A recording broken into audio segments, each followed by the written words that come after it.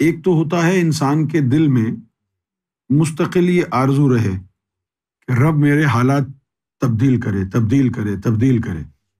मेरे हालात सही नहीं है, रब मेरे हालात तब्दील करे। जब तक उसके अंदर ये चीज़ रहती है, रब उसके हालात तब्दील नहीं करता। रब क्या देखना चाहता है?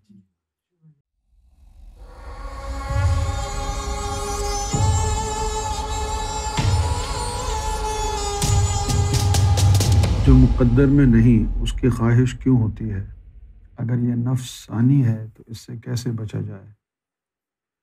ख्वाहिशात जो हैं, वो ज़्यादातर हमारे नफ्स की तरफ़ से है।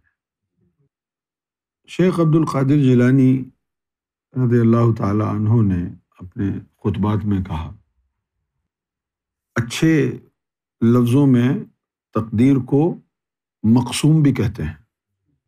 मकसूम तो शेख अब्दुल कादिर जिलानी ने कहा कि जो तेरे मकसूम तेरी तकदीर में नहीं है, उसके लिए तेरा आरज़ू करना तुझे तबाह कर देगा। तो अब ख्वाहिशात तो इंसान के अंदर उठती रहती हैं। ये ख्वाहिशात का जो अंबार है टेम्पटेशंस की वजह से बढ़ जाता है। अगर आपको पता ही ना हो आईफोन क्या है? एप्पल का टैबलेट क्या है? गाड़ी आपने ना देखी हो तो कभी ख्वाहिश भी नहीं होगी। वो चीज़ें देखेंगे तो आपके भी मन में एक ख्वाहिश उभरेगी कि काश ये चीज़ मेरे पास भी होती। जब वो चीज़ आपने देखी ही नहीं तो उसकी ख्वाहिश क्या होगी? तो आज के दौर में ख्वाहिशात का बढ़ जाना इस वजह से है आज के दौर में हर चीज़ डिस्प्ले पर है। हर चीज़ डिस्प्ले पर है। और फिर यूट्यूब के ऊपर, उसके ऊपर लोगों के रिव्यूज़ हैं। ये चीज़ ले लो, ये इतनी अच्छी है, इसमें ये है, उसमें ये है। ख्वाहिशात के मारे यूट्यूब खोल के मुख्तलिफ़ चीज़ों के रिव्यूज़ देखते रहते हैं, कुड़ते रहते हैं। एक ख्वाहिश होती है दिल की। वो ख्वाहिश नफ्स के ताकतवर होने की वजह से दबी रह जाती है। फिर जब हमारा कल्ब ताकतवर होता है तो कल्ब के ताकतवर होने की वजह से कल्ब का नूर हमारे नफ्स की, उनकी, उन ख्वाहिशात को वैसे ही अंदर ही ख़त्म कर देता है। शुरू शुरू में जब मैं सरकार से मिला, ज़िक्र वगैरह चल गया फ़ौरन उसी दिन। मेरा ख्याल है कोई आधा घंटा लगा होगा। चल गया। धड़ा धड़ धड़ा धड़ धड़ा धड़ ऐसा चला ज़िक्र, ऐसा चला। जिस चीज़ को हाथ लगाता, वो भी ज़िक्र करती। सरकार गवाह है। चारपाई पे बैठता, चारपाई भी अल्लाह करती। दीवार पे हाथ लगाता तो दीवार भी अल्लाह करती। यानी ऐसा ज़िक्र चल रहा। मैं 2008 में वैनकूवर, कनाडा से कैलिफ़ोर्निया गया। तो कैलिफ़ोर्निया में एक छोटा सा मकाम है, फ्रीमोंट। वहाँ हमने क़याम किया। वहाँ सरकार की चाहने वाली एक ख़ातून रहती थी। तो उस खातून का नाम था सुखवीर कौर। तो उनकी वजह से मैं गया वहाँ। तो उनके जान पहचान वालों में से एक शख्स, वो भी सिख ही था। उसका नाम था शिव रियात वो मुझसे मिलने के लिए आया। और मुझे कहने लगा कि जी, आप अगर नामदान मुझे दें तो ऐसा दें कि थरथली मच जाए। नहीं तो बेकार। मैंने कहा कि मैं ज़िक्र दे देता हूँ आपको। अब आगे क्या होगा, ये तो रब के हाथ में है। खैर, उसने ज़िक्र लिया। ज़िक्र लिया, बैठा रहा आधा घंटा, एक घंटा। कहता है कि जी मैंने तो कुछ भी नहीं हुआ। यार, मैं क्या करूँ? कुछ नहीं हुआ तो। खैर, वो चला गया। वो जाके गाड़ी में बैठा तो गाड़ी हिलने लग गई। गाड़ी यूँ यूँ हिल अल्लाह, ओ अल्लाह। वो फ़ोन करके अपनी बेगम को बता ओए देख गड्डी लमक दी पई है। वो उसको फ़ोन करके बता रहा जहाँ हाथ रख रहा है वहाँ से ज़िक्र की आवाज़ वो घर गया अपने, उसने बर्तन को हाथ लगाया, बर्तन नहीं हिल रहा है। टेबल पे हाथ रखा है, टेबल ज़िक्र कर रही है ऐसा उसके साथ हुआ।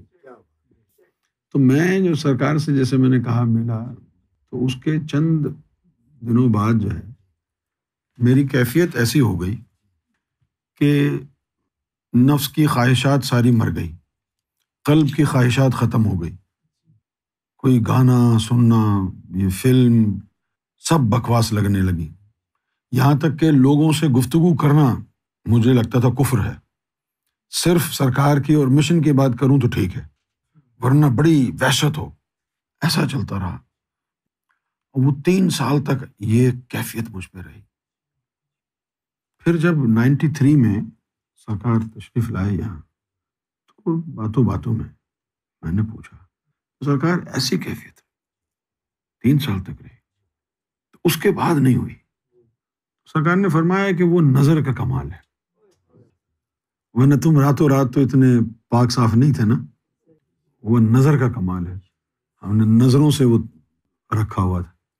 वो नज़रों में रखा तीन साल तक, ताकि जल्द से जल्द कल्ब जवान हो जाए, बड़ा हो जाए इंडिपेंडेंट हो जाए।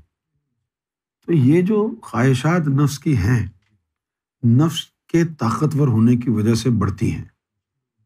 और फॉर्मूला ये है कि नफ्स अगर ताकतवर है तो वो आपको दुनिया की तरफ़ खींचेगा। अगर आपके अंदर दुनिया की बड़ी परवाह है, दुनिया की अशिया, दुनिया की चीज़ों की बड़ी लालच महसूस हो रही है तो समझ जाओ नफ्स ताकतवर हो रहा है। और जब कल्ब ताकतवर हो जाएगा तो दिल आपको रब की तरफ़ खींचेगा। तो अब हमने करना क्या है? ज़्यादा से ज़्यादा ज़ोर हमने ज़िक्र फ़िक्र पे देना है और इस मिशन पर देना है। ये ख्वाहिशात पैदा होती रहती हैं, इंसान को परेशान करती रहती हैं। हर इंसान ये समझता है कि मुझसे ज़्यादा दुखी कोई नहीं है। हर इंसान ये समझता है कि मुझसे ज़्यादा प्रॉब्लम्स में घिरा हुआ कोई नहीं है।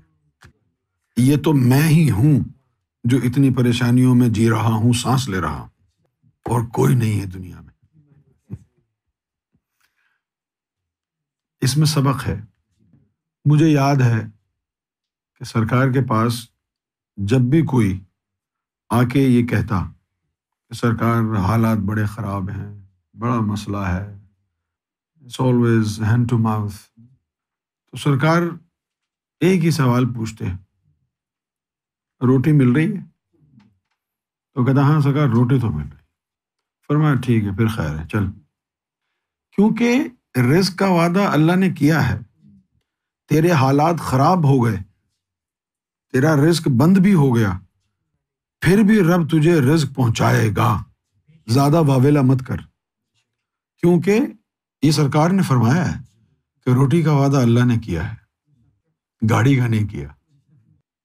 गोल्ड का नहीं किया, रोटी का वादा किया है। तो बेहतर तो ये होता है कि आदमी सबर करे। सबर करने से क्या होता है?